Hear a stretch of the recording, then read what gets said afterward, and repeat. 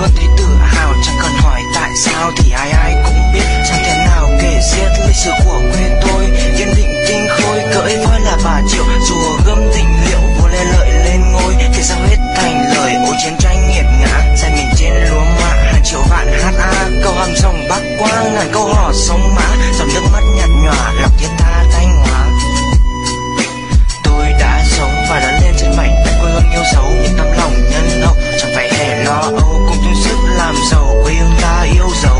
trẻ biết phấn đấu đậm màu mắt nâu, những cụ già âu sầu lại ướt đôi gò má. Những công trình vất vả là phá đá đào mương, những nốt nhạc phố phường và tình thương luôn có. Từ những điều rất nhỏ luôn vượt khó đi lên. Ngàn câu hát đò lèn là chúng ta đó duyên tích xưa hấu đỏ chiều cõi nga sơn.